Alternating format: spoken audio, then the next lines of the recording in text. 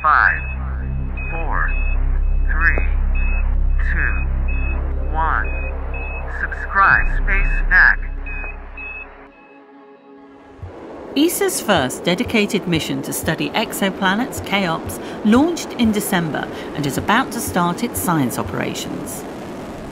During the last few months, Cheops successfully completed its in orbit commissioning phase, and the spacecraft, telescope's optics, detectors, and electronics were all working as expected. The Cheops telescope opened its cover in January and in February targeted its first star, around 150 light years away in the Cancer constellation. The triangular shape is due to the three struts supporting the telescope's primary mirror. It's also deliberately out of focus because the star's light is spread across many pixels to make the measurements more precise. Cheops will soon start observing hundreds of stars outside our solar system that are known to have orbiting planets. It will measure the minute dip in light caused by exoplanets as they transit a star. Cheops is a small or S class mission.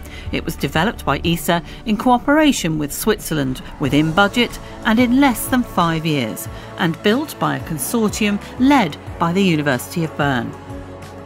The instrument team in Bern works closely with the Science Operations Centre at the Geneva Observatory.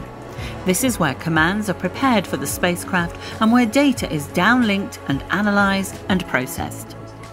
The Mission Operations Centre for Cheops at the National Institute of Aerospace Technology site near Madrid sends these commands. It operates and monitors the spacecraft and ensures that the telescope's data flows smoothly to Geneva. The observatory is also where scientists discovered the first exoplanet in 1995. Today, there are over 4,000.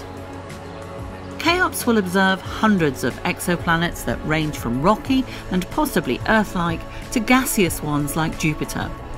Its precision measurements will be key to understanding their inner structure, formation, and evolution. Scientists from institutes that have contributed to the Cheops mission have GTOs, Guaranteed Time Observations. There's also a guest observer programme for researchers worldwide.